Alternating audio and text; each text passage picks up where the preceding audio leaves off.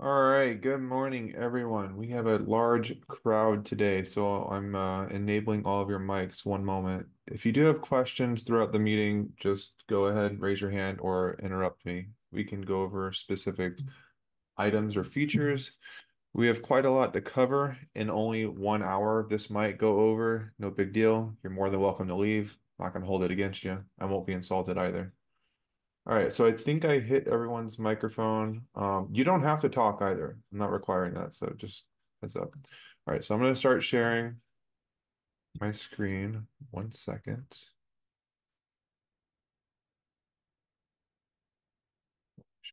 Two.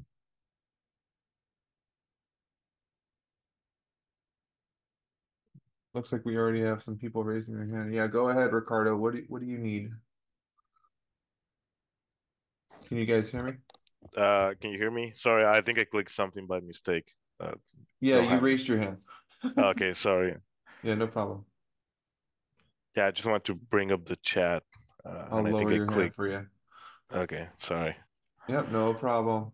All right, so if you guys were not um, understanding what this webinar is uh, encompassing, this is our HMI software. This is the new software for CIMON. This is Canvas. We have a new X panel that we released. Um, you know, 4, 10, 7, 12, 15, you know, out of order. I, I mentioned it, but um, it's a Linux-based processor. It has class 1 Div 2, IP68 on the 7 inch. Um, we have a lot of other features that I'm going to go through as we casually um, stroll through this, but I just I do wanted to mention like what the hardware specs are. So with further ado, I'm going to begin the presentation. So, and just so you guys are aware, this is being actively recorded. So if you don't want to be on the microphone, don't speak. Um, everything audio included will be recorded and then it'll be posted upon our um, our social media page. So just keep that in mind as you communicate. If you don't want to be on it, don't talk. Um, all right. Anyway, um, so let's go into unit one. What is an HMI? I'm sure everyone here knows what an HMI is. Um, I resculpted this presentation as kind of like a boot camp process to bring everyone from ground zero. I'll briefly go over that definition, but it's more of just like a formality. Um, communication between HMI and PLC, configuring the Ethernet parameters. Where is that found? If you're used to using the CIMON's old X panel, you're using the legacy one, the Windows CE based one. Um, it's going to be a little bit different when you're changing the Ethernet parameters. And then adding password security, changing the theme to light and dark mode because we know those um, users, we, they love dark mode. Um, I'm more of a fan of light mode, but um, I'll show you how to change those. And then we can create a new project and a page utilizing the graphic library. Um, all of our graphic library images are SVG, so vector-based images now. So you can change the size without ruining the quality. And then we're going to view the project in Canvas Simulator. So we offer two different types of simulators, and I'll show that to you in a moment. So let's begin. So what is an HMI? I'm going to leave this up for at least two seconds for the recording. This is the formal definition that I think that encompasses what an HMI is. Um, as you can see on the right-hand side, that's what that's what our new X panel looks like. Um, it has a more of a rugged metal um, casing on the back end. Um, if you're familiar with Red Lion, it's going to feel kind of hefty like a Red Lion. That's the Class 1 Div 2 X panel. Um, we do offer a plastic base as well, which is going to be your non-Class 1 Div 2. So you don't, you're not stuck with that very heavy one if you don't want one. Um, just just a heads up. All right. So what is the purpose of an HMI? The purpose of the HMI is basically, you know, 90% of the time, 95% of the time, you're going to be talking to a field device of, of like a, such as a PLC. Um, rarely will it be a standalone item. Um, I, I just don't see it. Maybe like maybe you might use it as a tablet. That's un like that's unlikely. Uh, I don't see that happening. Um, maybe you're just using it to store recipes, but it's not talking anything. That's very unlikely as well. Um, most likely you're going to be using the HMI to talk to a PLC, and that PLC is going to be talking to physical I/O. Um, you're going to stream up that data, that um, those statuses or information metrics towards the HMI. It'll collect it, maybe historically track it, or you can use alarms, other features to cultivate that data and then send it to maybe the cloud or to a SCADA server. And that is right, we support cloud-based connectivity. I know a lot of people are afraid of using cloud servers within their automation setup, um, especially with uh, you know, um, security, cybersecurity being an issue. But we do offer MQTT and we offer OPC UA to bridge that communication, that security gap between the HMI and maybe AWS or something of that nature. Okay, so just a reminder, Canvas is the software you're going to be looking at for the new CIMON HMI, not xPanel Designer. That is our old xPanel software. The new software is called Canvas. And then the PLC software is called CICON. Um, this presentation will briefly go over the PLC because I'm going to show you how to connect like our simulator from the PLC to the HMI. Okay, so um, the way to close the runtime remains the same from the old X panel going to the new one, the Linux-based one. You're going to press the bottom left corner, then the bottom right corner, and then the top right corner. After you press those three, a dialog box will show up in the middle, and then you can exit out. Once you exit out, um, I don't think I have an image. Maybe I can open one up real quick. One second.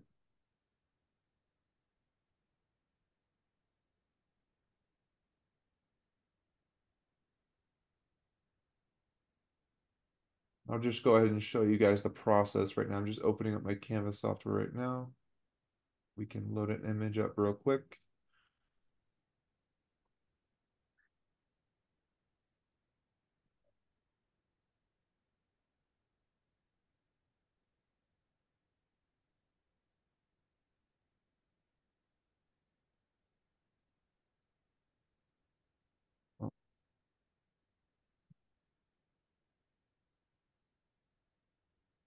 Well, it looks like no xPanels are loaded on the network right now, so I can't show you.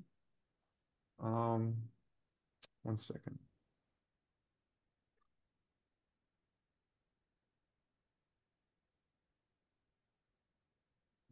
All right, we'll come back to this item, but just to reiterate, it's bottom left corner, bottom right corner, top right corner, and then um, a dialog box will show up in the middle, and then you can go to settings, and then you'll notice that there are now two Ethernet ports where you can set the IP address for either one. So all of our new X panels will have two Ethernet ports, making them an ideal solution for edge of network um, features. So they can do edge computing and so forth. One can be for your LAN network, one can be for your WAN network if you want.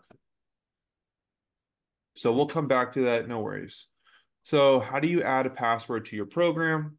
So when you go when you when you create a new project, it should prompt you, do you want to make a project or do you want to make a password project, a project password?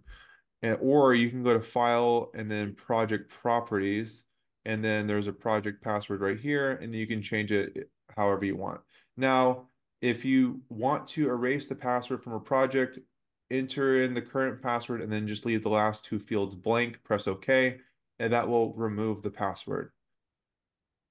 So you can provide, you can actually put a password on your HMI as well. So we provide the ability to put a password on the hardware and on the project itself.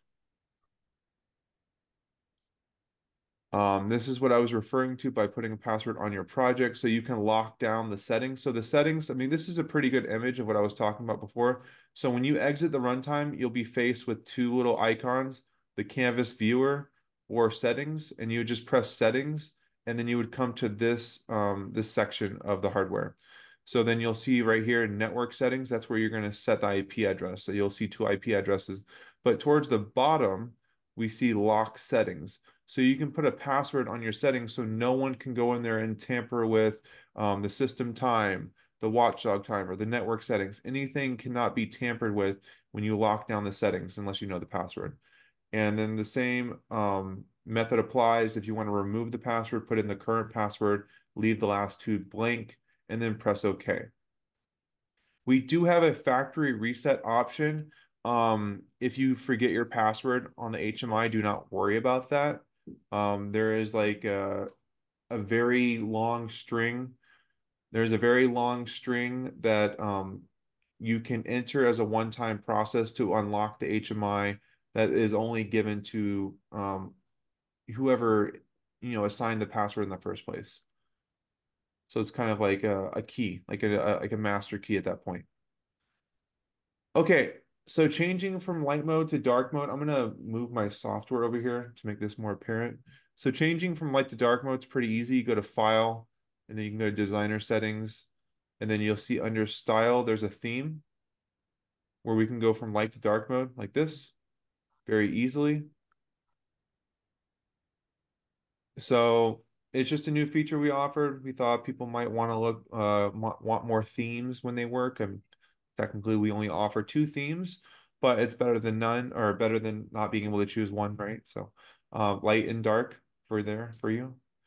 And then so creating new projects is pretty easy. I'm going to try to glance through these these slides. These ones are pretty remedial. We'll get into more engrossing slides later. So file, new, you can create a new project or a new page this way, just using the file option. It does have hotkeys. If you're a hotkey person, just take advantage of those. So control shift in or control N. And then here, when you create the new project, you'll see at the very bottom, like I mentioned, you can put a password right there. It prompts it, it prompts you for the password. Um, you can either disable it or enable it. You can choose your screen size here, where you're going to be saving your data or where you're going to be saving your project the project name, and then of course the width and the height of the project because you might be running it on your computer. Who knows? Eventually, we will allow you to have a runtime on your computer instead of dedicated to an HMI. So the image library is all SVG. It's all um, vector-based graph graphics. So let me open that back up real quick. So if I go into my image library, the graphic library at the top right, go into the image library here, you'll notice that like maybe when I click on button, which is something different than our previous software, right? We didn't have vector um, graphics. So when I drag this in, it keeps a pretty good quality and I can drag it or I can resize it and it pretty and it shapes to that um to that resolution pretty easily. So very nice quality when I change this. And it flips in any direction as well. And you can also rotate it. You can change the anchor point and rotate it there as well. So pretty nice feature right there, taking advantage of the whole rotation metric. Some software, you have to actually export the image, rotate it in paint, and then bring it back in, which can be pretty cumbersome. So we provided this feature to reduce the engineering time. And then you can just reapply it. It will lock in right there. The anchor point will lock back in. And you'll notice that we provide a lot of graphics here. You can just drag and drop them in. Note to self, when you're importing PNGs or any type of graphic into your project, because you can import graphics, right? Like I could just copy this and paste it in. So I just copy and pasted, or I took a screenshot and I pasted it into my project very easily. So just note to self when you're using an image that you're importing, right? So I think it's edit or is it insert? I think it's Maybe I'm mistaken. Hold on. Yeah, it's insert. So when you when you're inserting a graphic, right, from your computer, make sure that the the resolution is not bigger than the screen size. Um, most recently I had to troubleshoot something like that. I think we're going to accommodate that in the future where we automatically change the resolution for you. But if you're on a screen size that's 800 by 480 and you import a graphic that has a resolution of like 4000 or 4K, right? Even though you're sizing it down, um, doesn't that doesn't change the resolution. So what we have to do is basically, you know, calculate the new resolution and it has to constantly do that. So when you're embedding new images into the project, make sure you're taking into account for resolution. In the future, we will accommodate that by automatically um, calculating that for you within the designer. So um, just a heads up in turn, like if you start using the software and you notice something being slow, it's check the resolution of the image that you're importing. Um, other than that, we do offer a pretty robust library of images for you. Um, so you have like a little blower right there. Um, we have other industry standard images as well. Um, you know, you can look through the whole library at your leisure. I'm just, you know, casually uh, glancing through these right now. So maybe you have a printer and you want to print something, you allocate the printer icon, you press it and it prints the, the page, who knows? All right, so moving on. Oh, one more thing I wanted to talk about. So when we drag an image into the on the canvas, right, to the page, you'll notice at the bottom right and the top right, we have some options here. We have some um, parameters that we can change. So you can either change the name of the object, you can change the visibility based on a tag. So if you see this little chain link icon on the right hand side, and I'll mention this again, if you see the chain link icon on the right hand side, you can bind a tag to it. So like a digital tag or something of that nature. Um, and I'll show you that in a second here. But we can change the visibility, the opacity, whether it's blinking, how often it blinks, um, the X and Y parameters. So you can think of that like from people that are using the legacy software, you can think of that as like a horizontal move and a vertical move. Now you can just directly control the X and the Y, the width and the height, the rotation, um, and all that fun stuff. And then, of course, you can assign actions over here. So we do offer pretty expedited actions. I'll go through that in a moment. So we have on press, on release, and then on double click as well. So if I wanted to change, say, um, the size here, I could, right? And it will automatically apply over here. As you see, these are changing the width and the height. Also, if you notice that you can allocate tags to them, so that means you can dynamically change the position and the size of this within the project. So we'll go over how to create tags in a moment here. All right. So um, I briefly went over this. Don't worry about answering the questions. I'll give a five second pause. Maybe you might know the answer. You don't have to answer if you don't want to. But the number one question, I briefly I briefly went over this. How many IP addresses can be connected to the Linux X panel? So basically the question is asking how many Ethernet ports does the new X panel have? And it has two. So I want to emphasize that this device can now be used as an edge computing device. It can be used at the edge of network. So one for your local network, one for your LAN WAN network, your wide area network. Now you don't have to use it in that workflow. You can definitely use both Ethernet ports for two different LAN networks if you want, but both Ethernet net, uh, both Ethernet ports cannot exist on the same LAN network. They have to be on two different gateways, but you can use them both for a local area network if you need to. Number two, where can the properties be edited within Canvas? I just went through this. This was at the bottom right. We saw that appearance, transform, and action um, pane. And at the top right, we also saw the basic properties. So on the right-hand side, by default, you will see this is where you can change parameters. So up here at the top right, appearance, transform, and actions. This is where you change the parameters of an object. Number three, can this Canvas simulator be interfaced with a PLC or a field device? I did not go over this yet, but just to answer the question, in the past, we did not allow this, but now we have provided something that we call an online simulator. So now you can use the simulator with PLC and like other devices on your network without committing to a purchase, right? So technically, um, we have two options here. I have an on, uh, I have a like offline simulator, which will allow me to use um, just like testing out logic, testing out button functionality, um, you know, offline properties. And then I have an online simulator over here that will last for 30 minutes. You can close it, reopen it, close it, reopen it to, you know, refresh that 30 minute window. But this will allow you to communicate to Modbus devices, other IO devices. If you need to talk to like an Allen Bradley PLC, if you need to talk to a Modbus device, like you can test it with the online simulator from your computer without needing our HMI, if that makes sense. And this is what's going to lead to us allowing to have the runtime exist on the computer in the future. You'll just probably need to buy a, like a, a virtual license or a dongle from us in the future. But yes, take advantage of the online simulator. It's free. Um, you can just launch it whenever you want, like I am. Um, I guess I messed up with the momentary button or something like that. Let me go ahead and delete some stuff. So you can just launch the online simulator without having to, okay, I guess the recipe is in here too. Oh, it doesn't matter. All right, so notice how it just launched. I mean, there is an error. We'll go through that. Don't worry. Um, but it just, it launches on its own. You don't need to worry about purchasing anything prior to launching the online simulator. So let me go ahead and delete some stuff real quick. I think it's this one. Let me delete this. And then script as well. All right, because we'll get, we'll get to that eventually. All right.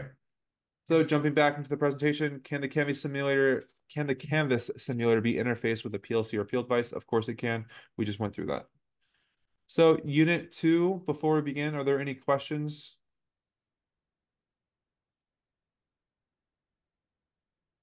If not, I will just continue. So the very basics, we're going to learn how to create tags, right? A digital, analog, and string tag.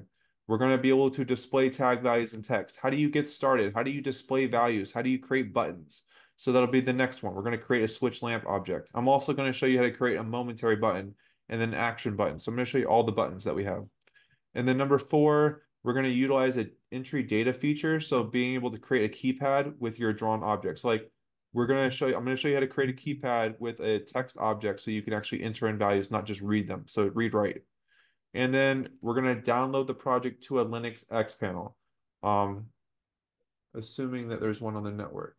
Yeah, we have one on the network now. All right, so something I did want to show you guys, I'm going to start the VNC. I have a VNC viewer right here. So this is the connection setup for Canvas right now. And notice how there is an X panel right here. I can start the VNC server like this and then just launch it. And then I'll see something like this, right? And then if I click the bottom left corner, the bottom right corner, and then the top right corner, I can I get this little dialog box that I was talking about earlier. I can exit. And then you'll be faced with Canvas Viewer and Settings. You'll go to Settings. And then this is where you're going to be setting up the network settings. So you can set up a domain, a name server, right? You can set up a LAN 1 IP address, or you can do DHCP, static or DHCP. You can do LAN 2 as well. And for those that have been using the X panel since the, you know, the previous one, the Windows CE one, you will remember that you had to connect over USB using Windows Mobile Device Center. You do not need to worry about that anymore. Um, we automatically treat the USB as a, another Ethernet port, for example, but not for communication purposes, not for like IO device communication. This is just meant for like the PC to the HMI. You no longer need a third party program to connect over USB Mini B. So that is a new quality of life feature that we introduced. So as, as soon as you connect to the HMI, you can communicate with it over USB easily. So I'm going to go ahead and um, exit the VNC in one moment.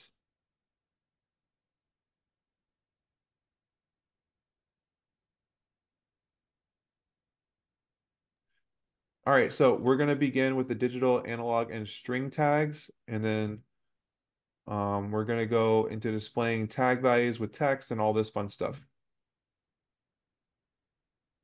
So where do I go? At the bottom left, it kind of slaps you in the face, little tag editor here at the bottom left. To create a tag, you just press add tag like this, and then tag name. So you can call it whatever you want. I'm just going to call it dig1. And then notice the data types that we offer. We offer Boolean. We now offer 64-bit data. I this has been a huge request in the past. Is like, do you support 64-bit protocols? Um, we do now. We definitely support. We did not in the previous X panel, but um, we support the long data types now. So float 64. So just look at the number, and that will tell you the the data type that you're interested in. So like how many bits that data type has. And then last but not least, we offer string data as well. Yes, you can use this over a protocol. So if you need to talk to like a common protocol that has string data, um, like maybe like uh, OPC or something of that nature, or MQTT, you can definitely use string data in that format. Um, there's very few protocols that I, can think of that actually have string data type. And maybe, I mean, I guess Ethernet IP does as well. So we do offer Ethernet IP, like standard Ethernet IP, not just the PLC one. So um, Ethernet IP, I think the standard is ODVA. So any of your remote IO, any of your Allen Bradley or other Ethernet IP devices out there, like if you're talking to an Omron PLC that has an Ethernet IP driver, you can definitely talk to that over Ethernet IP and so forth and so forth. All right, so I'm just going to leave this as Boolean. We're going to leave it as a virtual tag. So notice that there's virtual and then like some other device that you can create. So we'll get into that in a second. Let me go in there and actually delete that. All right, so I have a digital tag. I want to make an analog tag now as well. So I'm going to make a integer. We're going to call it um, ANA1. And then I'm going to make a float tag. We're going to call it float1.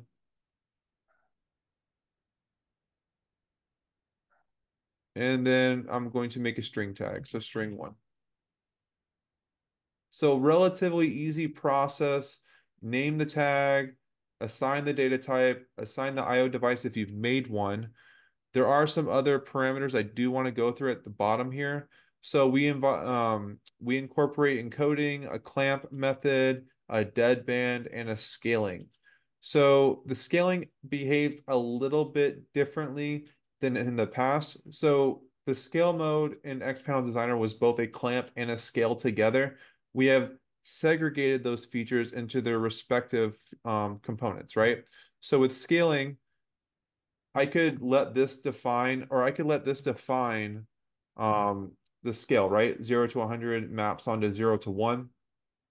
And I would still be able to accept a value outside of zero to 100 because I have not put a clamp on it because it's just, this is just defining the linear range. Um, it, it's not really a clamp. I, I want to like remind you guys about this. If you do want to clamp your raw low and your raw high, you want to go to the clamp and then maybe you clamp both and then you make this zero and a hundred. So something of that nature. So basically any value outside of zero and 100 will be rejected. Um, so that's, that would be how you like clamp your low and um, high for your raw. So I just want to like things changed a little bit from X Panel Designer to Canvas. Um, pretty much that's all I really want. Oh no, there actually is some other cool stuff. So we offer persistent value. Of course, this is latched or retentive data. Um, value change, so you can have an action occur when the value of the tag changes, which is a pretty notable good feature. Um, this is from our SCADA software that we offered before. Um, it was like run tag action on value change. And then a new, completely new feature is we've expedited the way that you can commit to an action when the quality of communication has changed. So say you're communicating with a Modbus device and communication is lost, it's probably going to cache that last value. So let's just say it's 500. But if the quality diminishes, you don't want to retain that value sometimes, that value of 500. Maybe you want to change the value to zero or something of that nature. You can now use the quality changed feature to enact a, an, an action when you have an un, like unfavorable connection. So that would be that. Um, so I'm going to go back in here and remove the scaling and the clamp. Press OK. So that was basically how to create a digital analog and string tag that should get you going in terms of creating a tag. Now, just take note that you can actually use our tags with Excel. Like you can copy and paste back and forth. So I'm going to show that real quick. I'm going to create an unprecedented amount of analog tags. So Excel, open it up. And you'll know I have my worksheet here. I'm just going to paste that in. You'll notice that I just pasted it in. Um, I'm going to do a little bit of auditing because I don't want random numbers to increment on their own.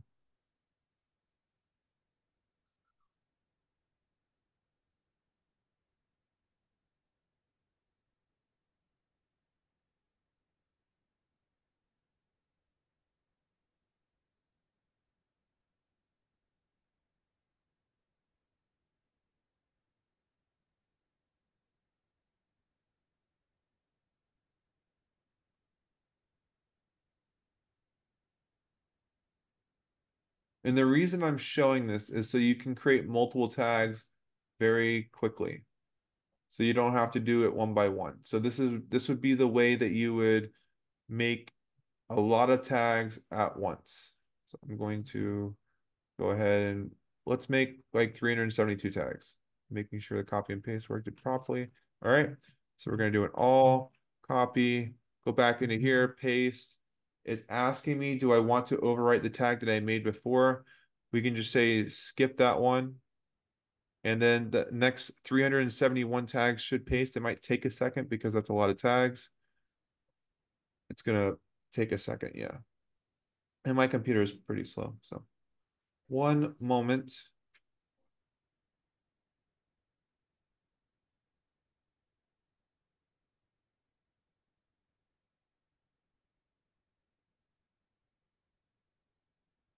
All right, so just like that, in less than 30 seconds, I have over 300 tags created. Um, this also works for the IO address as well. So like if your IO address is sequential or you have some other way of, um, you know, expediting your IO addresses within Excel, you can do that. So you can just copy and paste everything over. This also allows you to adjust tags very quickly as well. So like you can copy and paste everything from here put it into Excel, make changes, and copy and paste back and forth. So we do offer that capability. So I'm going to jump back into the presentation. We're going to close out of Excel. So it's just as easy as um, Control C and Control V, you know, your standard hotkeys for copy and paste. So we're going to introduce something called smart binding. So there's two ways to allocate a tag to a feature you can either drag and drop the tag into the object or you can drag and drop the tag into the field. So I'm going to create, see, I'm going to create an object. Let's create a text object. So I can either drag and drop this. So I want you guys to take note first. So over here in the text field, there's nothing there, just new text and a tag icon. So this chain link means that I can bind to it, right? So I'm going to drag and drop this into the, the text object and it automatically assigns to that parameter. So it will automatically always assign to the most widely used parameter of an object. So for instance, with a text object, it will allocate to the text um, field, right? It's not going to randomly allocate to the visibility or opacity, right? Um, if you have a switch lamp, something like this, the digital is going to allocate itself to the status up here. So the state. So if I unbind that, we can show that real quick again. So the state has a zero in it, and I can drag and drop digital into the button, and then we'll automatically allocate to the state. Now, if we look at other parameters over here, maybe I want to assign digital to visibility. So I can just drag and drop that into visibility. Or you can click on the tag link icon and then select a tag this way. You don't have to drag and drop. There's three different ways to assign a tag, right? Well, assuming that you're talking about the most widely used parameter of an object. So one, you can drag and drop the tag into the object. Two, you can drag and drop the tag into a parameter, right? So I can drag and drop this into the parameter of visibility if I want, or you can click on the chain link icon and assign it manually. So that's up to you. And we want to call this smart binding. So now I'm going to show you how to make a switch lamp, which is a pretty easy feature, right? Everyone pretty much uses this feature within their X panel or within their HMI. So the switch lamp object is right here. Uh, in your toolbar, or it's in the insert dropdown. You can click on switch lamp like this, drag and drop it into existence. So I'm going to delete the other one I made. And then I'm going to assign the digital tag right here to the state. So it automatically assigns to the state. I'm going to go to the actions tab at the bottom right. We're going to go to the on press action dropdown, create new command add new command, change it from open page to toggle tag value, click on the tag parameter, choose dig1 because that's what the state we assigned, select, press OK, and now we have made a switch lamp. So if we recall, this is visible only when digital one is on. So visibility ditch one. It's if it's true, it'll be um, visible. So we can test it out with simulator real quick. But I think I need to change my starting page. One second.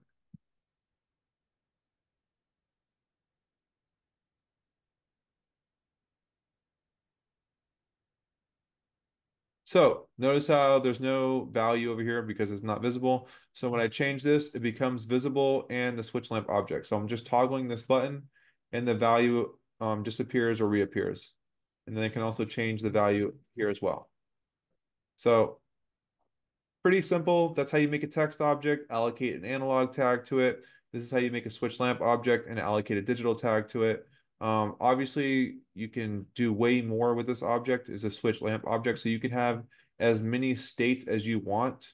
Um, I think up to a certain, maybe, I think you can have like a hundred states or more. Like, I don't think that there's a, a realized maximum yet. So, I mean, if you have an analog tag and you have more than five states, you can definitely do that. Or if you have more than 100 states, you can do that as well. Never seen it, but we can we allow for the um the capability for it. Okay. So let's get back into the switch lamp object. Um grouping objects together. So it's a very simple feature. I just want to show it real quick. So if I draw a square and I draw a circle, one second, James Perry, one second. I'm gonna bring both of these objects together so right click, you'll see that there's a group feature, or you can press control group or control G for group. So now it's a grouped object. They move together and you'll notice that the um, in your project window, your project tree, it's called new group and you can select the individual objects. So I can select the individual object and move it and it stays part of the group. So it just extends the group. So you can change the individual, per, like you can change the individual objects. And if you want to, if you want to just click on an object inside of a group, you would do a double click. So we would call that a deep select. So I just double click and then I get my rectangle and it's still part of the group like that. And then to ungroup, you would just ungroup. All right, so James had a question. What was your question, James? Oh, sorry, I have a touchscreen. accidentally uh, hit the raise hand. Sorry, sorry, you have a touchscreen. What was that? Oh, I accidentally hit the raised hand. I didn't need anything. Sorry about that. Oh no, yeah, no problem, no problem. All right, so um, let's just begin. So that was a very simple feature, right? That that is what we called uh, grouping. Very easy, right? So let's get back into the presentation. Okay, so we can create condition maps. I'm gonna show this not with shapes, but with colors. I feel like it's a better presentation with colors. So um, for appearance, we're going to look at fill and then um, we're going to make that based on parameter. So sometimes you will create your PLC project before your HMI project. Like 90% of the time, most likely you will, you will create your PLC project before your HMI project. And not always does the data flesh out properly. So like, for instance, um, in our previous software, you had to like say like oh if the value is 23 change it to 1 so it can be green. If the value is 50 change it to 2 so it can be yellow. If the value is 123 change it to 3 so it can be green or red right? But i'm here to show you that there's a simpler way of doing that. So if we look at the fill and i click on the little tag link icon over here i can go to expression and then i can change it to a condition map and I'm going to select the tag and a one. And then when the condition is equal to 23, we'll say that it's green. When it's equal to 50, we'll say it's yellow. And then we'll add a condition. So when it's equal to 123, it's red. Anything in between will most likely just be white because there's no condition for the in-betweens. I didn't put that, I did that on purpose. Um, so I'm to press OK. And then I'm going to expedite one of our slides. So I'm going to show you how to do an entry data tool. So like a, I'm to show you how to use a keypad tool right now. So let's recall this tag or this text object right here is displaying the value of ANA 1, right? It's displaying this value because that's what we allocated right here ANA 1. So I'm going to go to actions. I'm going to go to action dropdown, new command, add new command, And then we're going to select enter tag value. We're gonna choose the tag ANA one, because that's the one that we're displaying. We're gonna press select. And then you can change the header, the subheader, the position, um, the min and max if you want, so you can prevent people from using any number that's outside of this number. So let's just do twenty-three and one twenty-three. And then for header, we can call it ANA one. And then for subheader, we could say min twenty, it, it might just say it on its own, but I'm just gonna do this just in case. So we're gonna do something of that nature. I'm gonna press OK. So I'm gonna press the, the play button, which is our simulator. And then we're going to display the value first, right? Because that's it was based on a visible parameter. I'm going to click on this and then we see a keypad open up. So this is a generically pre-made keypad for you. You could expect the same type of keypad on your HMI. So I'm going to enter the value 23, press enter, it changes to green. I'm going to enter the value 24, it changes to white. I'm going to change it to 50, it'll be yellow and I'll change it to one, two, three, it'll be red. I'm going to try to enter the value one, but it's not going to let me. And why is that? Because we set the minimum to be 23. And likewise, I can't enter a value greater than 123 because we set the maximum as well. All right, so that was condition mapping and keypad at the same time. So that's what this slide is referencing, creating a condition map. And then now I want to download this project to an X panel. So the methodology or the method, the workflow for that is pretty simple. You see this little share link icon? You'd click on that for connecting. Then you click on your X panel. It should show up here in your connection setup. If it does not, you can click add and then insert the IP address manually. But more often it should. So you're going to click on that. And if it doesn't, you can press the refresh um, icon as well. So you're going to click on your X panel, press download from PLC or PC to HMI. It'll download just like that. We're going to launch the VNC viewer because I want to show you guys the results, of course. And it's loading one second. So there we go. This is our project that got downloaded to that HMI I was VNC'd into earlier. So we notice that it behaves the same way as the simulator. I can enter a value. It does nothing to the circle. All right, one second.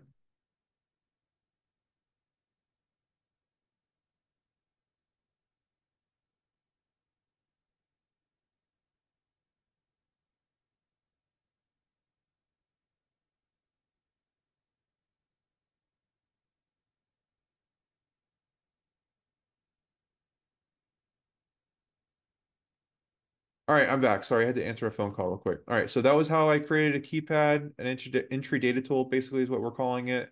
Um, we're using visibility, toggle buttons, condition maps, and downloading to an X panel. All of those features just got showcased. I think that's the, it for this unit. So let's ask some questions to, you know, reclar or clarify what we went over. So is a local Ethernet connection required to connect with the, the X panel? No. You can use the USB Mini B tool. You can use a USB flash drive to download a project. You can use an SD card to download a project. You can also upload a project these ways as well. You do not need an Ethernet connection, but it makes things easier. That's up to you. So there's four ways to download a project and upload a project. You can do it via Ethernet, USB Mini B, USB flash drive, thumb drive, or SD card. Number two, what are the most commonly used objects in the HMI project? Well, I showed two of them. It was a text object and a switch lamp object. So recall that was how I was displaying the analog tag and that's how I was turning off and on that digital tag. And then number three, what data types does Canvas support? I asked this question to emphasize that we now support 64-bit data. So yes, of course, we support string, float, um, integer, U integer, and Boolean, but it want, I want to emphasize that we support, you know, 64-bit float, 64-bit integer, and 64-bit unsigned integer as well. So just make sure you remember that when you're thinking about protocols and who you're selecting for your HMI, we definitely support the 64-bit data communication with our protocols. All right, so we're not going to really do a lab that would take too much time. Um, we only have realistically 16 more minutes. So I'm going to jump into the next unit and show you how to do like page navigation, creating a basic script, using a trend graph, configuring alarms, and utilizing our new security feature called Identity and Access Management. Um, I might not actually show it. I want to see something real quick because of how much time we have left. I might just want to talk about them. And if you're more interested in actually seeing the feature like in real time, you want me to actually showcase it, please contact us at support at cimoninc.com for a more intimate um, you know, session. We can have like individualized training of, of that nature. It doesn't have to all be done in this webinar. Now, uh, I'm gonna I'm only going to be glancing over the features that we offer from here on out because we have 15 minutes left. So how do I create a button to navigate between pages, creating a script, a trend graph, configuring alarms, and utilizing the new security feature? So navigating between pages is the same way that we did toggling. So when I made that toggle button, you'll notice that the actions part, when you click on the drop down and you select your new command, open page is literally the first command that is being allocated to you know the command parameter by default, open page will be there for you. Um, yes, Jim Brown. I see that you raised your hand, Jim. Did I not allow you to talk? Oh, maybe I need to allow these people to talk. Maybe that might help. Uh, all right. All ears, Jim Brown. I see that you're raising your hand. Maybe that might have been a misclick. That's another misclick. Okay, I will go ahead and lower your hand for you. All right, so um, yeah, so that's how you navigate between pages. It's pretty much set up by default. You just need to know where to look, and that is in the Actions tab. It it pretty much hits you in the face. You create an option, you create an object, go to the Actions pane, and the first action already allocated is Open Page, and likewise, there's Close Page right behind it or right below it rather. All right, so we have three different buttons. I already went over one, um, which which which was the switch lamp object. Um, there's also an action button and a momentary button. So I, the reason that these buttons are useful is they show touch confirmation, because not always do you know that if you hit a button correctly. Um, sometimes you're using a glove on your HMI um, some people fat finger things. So now we offer another state that shows you touch confirmation. One second.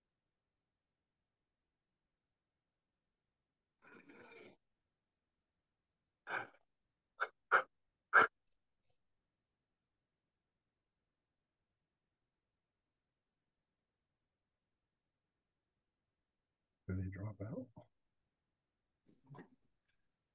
Okay, sorry about that. Another phone call happened. Okay, so for momentary buttons, um, there is a third state. Typically with momentary buttons, you only have two states, right? You have an on and an off state. But for this one, we have a touch confirmation state because, you know, the, the IO device that you're talking to might be very far away. It might not show feedback right away. You don't even know if you touched it correctly. So then you you you hit the button again and you end up spamming the button unintentionally. So now we have a third state that when you press it, it will show you that you actually press the button. And then when you get a response from the IO device, it will illuminate. So I'm going to go ahead and go into the software real quick. We're going to draw that momentary button. And then I can kind of show you that you have an active state, an inactive state, and then a pressed state. So you have three different states for a Boolean object. So this is a Boolean object by default, right? Like uh, it's a momentary button, it's off or on based on touch. So just want to reiterate, we have a press state for touch confirmation. Now for action button, it's a pretty unsophisticated button, but it does the same thing. It's pressed and unpressed. So it gives you touch confirmation basically. And what it's meant to do, it can be like a page navigation button. So basically you can go here, create new command, add new command. Uh, maybe I want to click on home, press OK. So now this is opening a page for me, right? It was very easy. It was already pre-allocated for you. So just wanted to reiterate that. So we're going to move on now. If there's no questions. All right. So we have, I don't really want to get too deep into the sauce about this. We have global command, uh, global commands and local commands. So global commands can be used by any object. Um, it will create a very exhaustive list if you create a lot of global commands. And then local commands are, you know, they're respective to the object you made them on. They will only ever be seen by that object. So you don't end up with a bunch of duplicate um, commands all over the place, right? So just keep in mind when you're creating objects, you can do our global versus local. So you'll even see local right here. So I can change it to global right here, and then I can make a command. And then that one will be global. So then every object can see new command. All right. Like I said, I don't want to spend too much time on that. Um, trend graphs are been they're they're much easier to work with now than they were in XPanel Designer. I love our new trend objects. So I can take the trend object like this, draw it into existence. I can drag and drop a tag into the, the trend like this. Notice how it already got allocated. I can drag another one, another one, and another one. You can have up to 32 pins in a trend graph. I don't know how quite useful that is, but um, you can do it. Also, you see these little markers right here. You can click on them to um, basically hide the pin from the trend graph when you're looking at a certain um other like when you're looking at other pins. So it creates that whole visibility um invisibility parameter for the pins. So you can also make your um, trend graph bare bone. If you don't want anything there, you just want to see lines, you can do that. Or you can just show certain parameters. Again, that's at the bottom right in the appearance tab. You can show the configuration. You can actually bind tags to this as well. So this can be coupled pretty well with a security feature. So say like you you don't want the controls to show when no one like when like um, a lay user is using the X panel, but when the engineer or the CEO logs in um, to the you know the security parameter, like the controls will automatically show up because of the boolean value went uh, true. Then you can save the trend graph historically. Um, you can change stuff um, you can change like what window you're looking at, right, historically, or you can, you know, go, you know, you can just change what what date time you're looking at, and then when you log out, it will just disappear like that. You don't have to show all of this stuff if you don't want to. I think there's one I really don't want to show. Like if you want to not, if you don't want to show the tag values, you don't have to show the tag values, right? So just, I think that's another misclick, Jim. I'm just gonna assume it is. Um, go ahead and correct me if I'm wrong. All right, um, so that's trend graph in a nutshell. Nothing too fancy other than um, we uh, give you a lot more versatility with the object. Alarms, pretty pretty simple feature. You click on the little alarm icon right here, an alarm editor. You can add an alarm like this. So you can create the trigger. Uh, maybe I want analog or ANA 1 to be in my alarm. And when it's equal to 12, I want um, some action to occur. Maybe I have, maybe this action will occur when the alarm goes off. Um, or, you know, it shows up in the alarm history window. I think this one right here. So this is our alarm history. It'll show up here. Um, we have three alarm tabs. We have active, shelved, and historically. So just like grossly speaking, shelved alarms is kind of like your snooze button on your phone when you're waking up in the morning. Like the alarm is still active, you just don't see it, and it will hit you again in like 10 minutes or five minutes, whatever you set the snooze to be. Um, you can disable that if you want by over here in the alarm summary tab or pane. I can just disable that so you don't see it. You can also display or turn off historical if you want as well, like that.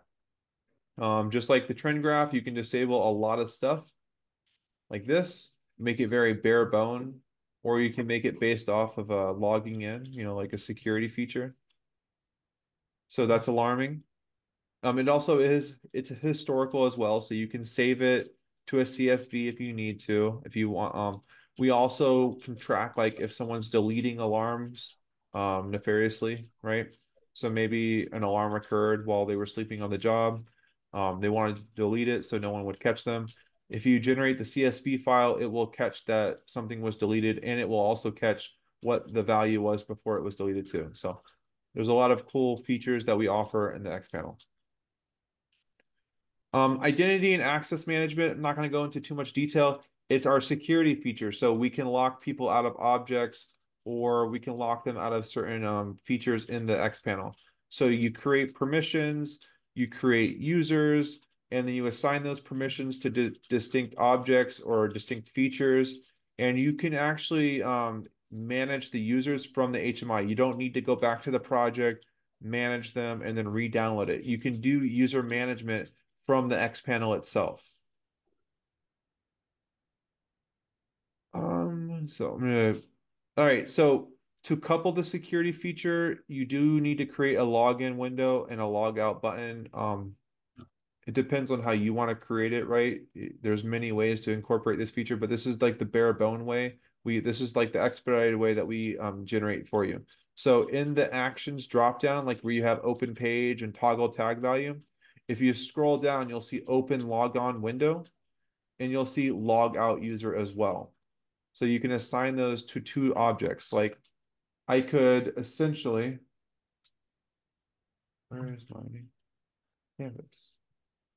So I could create a square, go to actions, or it's a rectangle, but I can create a rectangle, create new command, add a new command, and then scroll down to open logon window.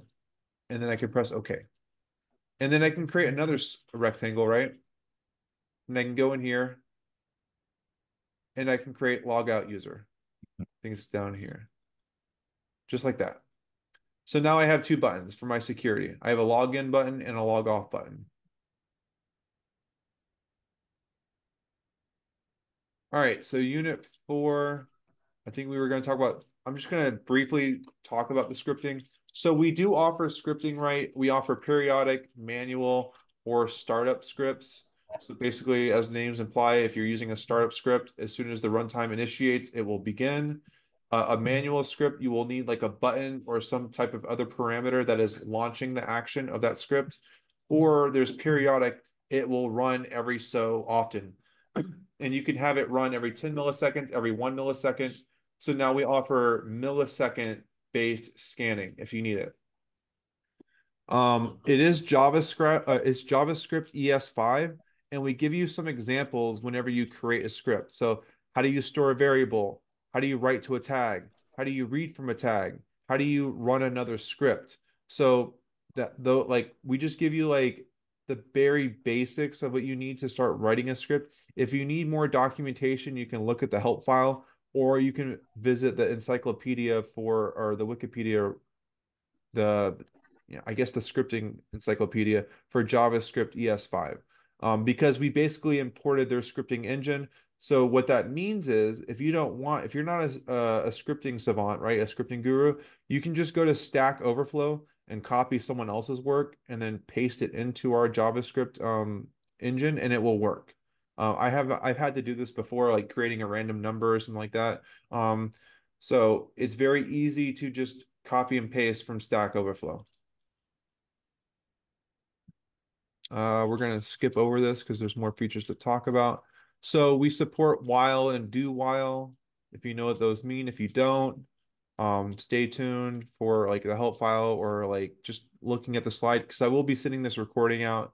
You can revisit the the recording and read this thoroughly, or you can send in a question via um, email and I'll be able to answer it more thoroughly for you. So we support while and do while. We support if else, of course, for loops, switch case. We support user defined functions as well. This is not the same thing as importing your own um, library. You cannot import your own scripting library, but you can define functions yourself within the, the scripting engine, right? So this is much different than importing your own library. I've been asked that many times. You cannot do that. Um, we have try catch, we support that as well. And then some other scripting functions that you might find useful. Notif notification.send, that's a good way of troubleshooting your HMI. Um, you can put that within your script to debug it. Um, thread.sleep and thread.msleep, I definitely want to talk about these because if you're used to using our old X panel, the sleep instruction was always exclusively in milliseconds. Now we have sleep and M sleep. So M sleep, of course, you might have guessed it, is milliseconds. And then sleep is in seconds. So just make sure you keep that in mind when you're choosing the sleep. Because I've had people choose thread.sleep because they're used to the old X panel and they put 1000 in there. That means it will sleep for a thousand seconds. So probably not something you wanted. You, you were probably meaning a thousand milliseconds and you meant to choose M sleep. Um, there's system.exit to get out of the runtime without using the three corner method, um, importing a script or running a script. All right, so connecting a Linux X panel to a PLC, um, we'll do that last. Uh, that'll be like, if no one, you know, I'll do that after I talk about some more stuff. So yes, our X panel does support recipes. We have every historian feature that you're looking for. We have data logging, trending, um, alarms. You can create CSVs from these. It also stores to your USB flash drive, to your to your SD card, to the X panel itself. Or we support FTP um, protocol, right? So Frank, um, Tango, what is that? Piano. So FTP. So we support that protocol as well. And then in, in mentioning, we also support NTP. So Nancy, Tango, Piano as well. So like that's uh that's the time protocol that you you can sync to like a time protocol on your server and it's responsible for knowing like the global time and your HMI can sync to that device. All right, so we're going to skip over interfacing with a PLC for right now. So we do support recipes, just letting you know. You can import, export CSV. Um, for those that don't know what a recipe is, basically your cal you can either um, it's kind of like a cookbook, right? you have a you have a different permutation of your ingredients that um you that you are using to calibrate your machine properly. So like maybe when you want to create widget one, you have a, a different permutation of your um, ingredients, and when you want to create widget two, a different permutate a different permutation, and then widget three, and so forth and so forth. also, because that that's when you're going to send data to the PLC. So maybe you calibrate your machine manually and then you find out the distinct values that make it run optimally manually. And then you can also retrieve those values from your field IO and then store that as a res recipe. So you will always know the perfect permutation for your application. So that's another way to utilize recipe. Um, data logging, I think everyone is familiar with data logging. Um, that's a pretty generic feature for an HMI, right? Like if an HMI is not acting as a historian, then it's probably in an airplane showing you movies. Um, but yeah, no, our HMIs are definitely historical, um, or they definitely support all the historian features that you're looking for. Um, we can do periodic, um, manual, startup, tag value change, all the fun stuff. Um, this is an example of what the CSV is going to look like for data logging. Um, it is 901 or it's a minute after what was promised for this webinar. Um, you're more than welcome to leave. I won't be offended, but I'm going to keep going to finish off the rest of the, the seminar. But um, just uh, and thank you guys for showing up for those that do leave. All right, so this is what the CSV will look like when you're generating it from this um, from the data log, by the way. So it's pretty easy. It'll be the name of the data log it'll be the timestamp, the name of um, the tag, and then the name of the tag. So like this what these, these are string tags, and then these are value tags, right? So these are analog tags. Just a heads up. So these the, these headers are just like the tag names themselves. All right, so we're going to skip that lat. So I want to talk about this specifically. These are the really cool features. If you did stick around, you're going to learn some cool things. So audit logging, what does that mean? We provide an audit trail, which is good for CFR 21 part 11. You heard that correct. Our HMI supports CFR 21 part 11. So that's an audit trail and most respectively, it's used for pharmaceutical and the food industry. That is your FDA compliance, right? So CFR 21 part 11, just remember that string We support it with our audit trailing. Um, it's a pretty new feature that we didn't support before. Or it's a compliance that we're conforming to that we did not um, before. So when you're in a hospital and a nurse is trying to grab like medication from the kiosk, they use audit trailing. They use um, electronic signatures, and that is something that we provide now too. So technically, our HMIs could be used in a hospital setting or in food industry. Um, we offer scheduling. That's a pretty standard feature.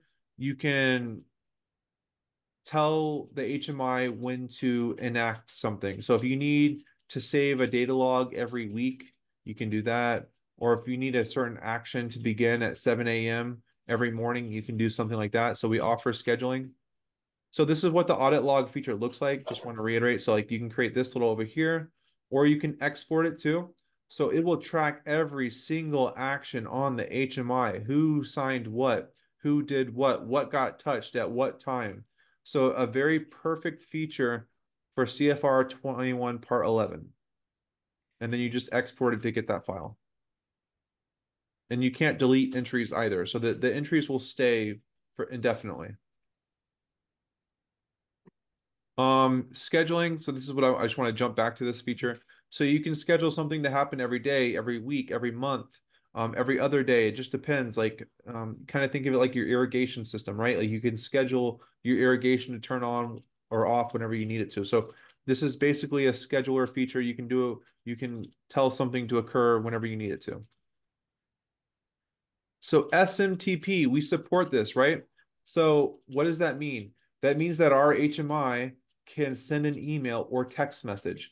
For those that don't know, you can actually send an email to a phone number and it will show up as a text message as long as the carrier supports that. So for my Verizon brothers, the domain at vtext.com, that is the domain for sending an email to a phone number. So for example, phone number at vtext.com, if I send an email to that, it will actually show up as a text message on your phone. So when I say that we support SMTP, I am saying that we support sending an email to other emails, of course, and sending an email to phone numbers if the carrier has a text domain, right? Or an email domain on their phone number. Most do. I know that for a fact, um, the, the US brands do. So like Verizon, T-Mobile, um, Cricket, all of them, they have a they have a domain that is supported with their phone number for emailing. Um, just know if you're using Google, like Gmail as your server, you will need to create something that is called an app password. Google recently stopped third-party access from using credentials. So you need to go into your Google account, go to the settings, um, go to security. It'll tell you to um, create a two-step verification, and then it will randomly generate an app password for you. Copy and paste that, and then put it into the password parameter in the project, and then you're good to go. And then you want to choose TLS uh, encryption 587 for the port number, and then boom.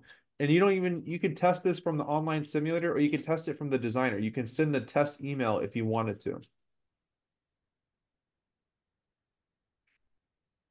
Um, multi-language, we support multi-language, of course. So um, we support a lot of different fonts. If we don't support the font that you need for your language, so like, I don't know, maybe you're trying to translate to Chinese or something like that, and if we don't support the font that you're looking for, you can definitely import your own font. Um, just bear in mind, you might want to take into consideration copyright infringement when, when it comes to fonts. Um, sometimes that can be a thing. But no, we don't offer any um, fonts that would infringe on copyright. We offer all open source um, fonts. But you can always import your own fonts and you're on your own with that. Of course, can't give you legal advice. But um, yeah, you can change the different languages within the X panel. Um, obviously, all translations will need to be done on your own. We are not like Google. We don't automatically translate for you. Um, this is pretty standard with any multi-language feature out there on the market. You will have to define your own um, translations.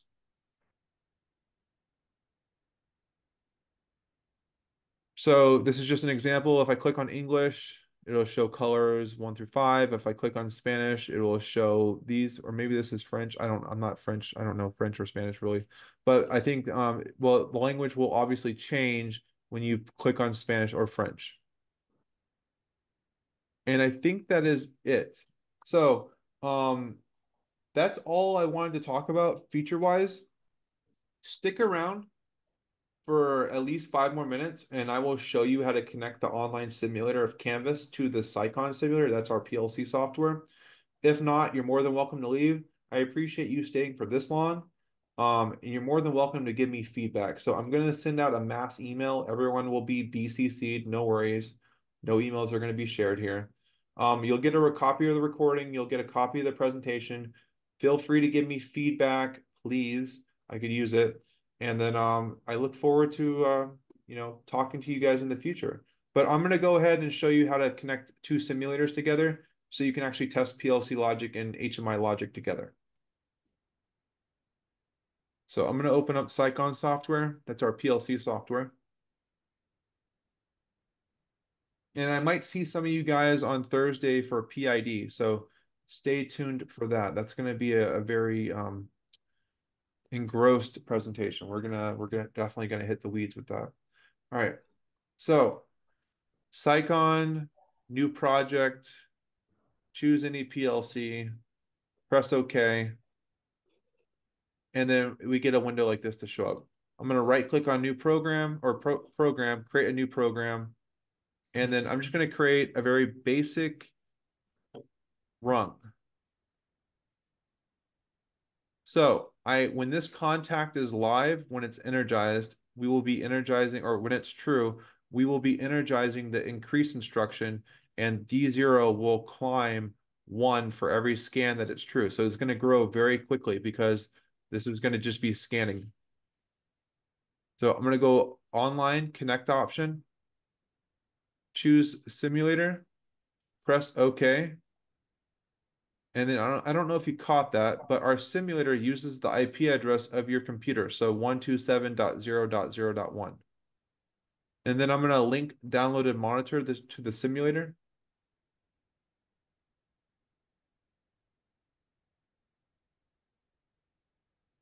Press OK.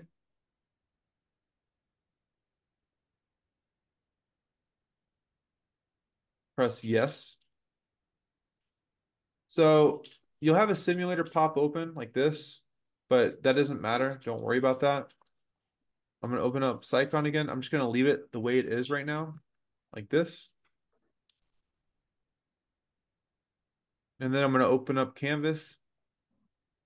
I'm going to create an IO device. So that's very easy. You're going to click on this icon right here, open IO device editor. I'm going to create an ethernet device. Notice all the protocols that we offer here. I'm just going to choose CIMON PLC, press OK, PLCS. And then we have to make sure that we choose UDP. Um, the CICON simulator does not support TCP.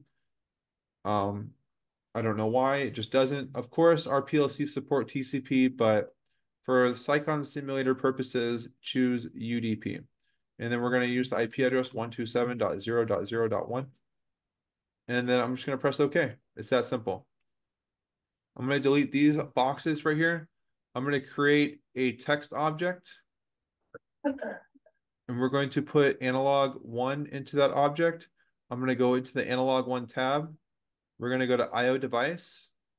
We're going to choose the PLCS protocol that we just made. We're going to go to IO device and then choose D00 because that was the value that we had, right? And then it's int 16. That was the value that we chose right here, D00.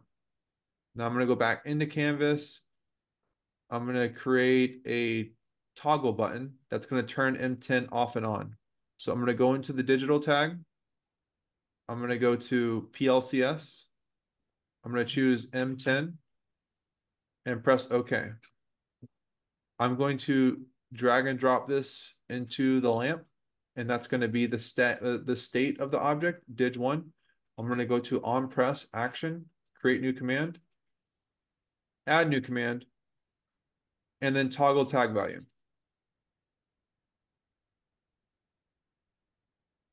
Now we're going to run the online simulator. It has to be the online simulator, uh, online simulator. It cannot be the offline one. Otherwise it won't communicate.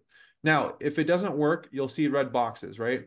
Red boxes will open up because that shows that like it's or red like crosses will show on top of your objects, meaning that you're not communicating properly. So that's one way to tr troubleshoot your project um, is to just make sure you don't have any red boxes. So when I click on this button, it should climb very, very quickly. So I'm going to open up CICON and Canvas together so we can just see that. So it's climbing as fast as D0 is over here, and I turned on this contact, I can turn it off. So this is one way that you can test out our software without committing to any purchase.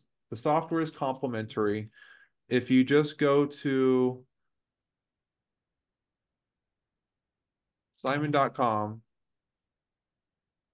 you go to support, download software, you'll see that the software is here for you, Canvas software. You can just download it right here. And then as well for CICON, you can download it right here as well. So it's very easy to download our software. You will have to register with our website. It's free to register. You just create an account. And then um, after that, you can just download all of the literature or software that you need from us. And with that, now this webinar is officially done. Are there any questions before we dismiss? If not, I hope you guys have a great day. If you signed up for the PID presentation on Thursday, I look forward to seeing you there. Um, just note that the PID overview will be talking about our own PLC as the the workflow. I'm not going to be talking about VFDs or anything of that nature. I'm going to be talking about our PLC and how to use our PID and basically what is PID essentially. So with that, I hope you guys have a great rest of your day. Look forward to the recording and the presentation coming your way.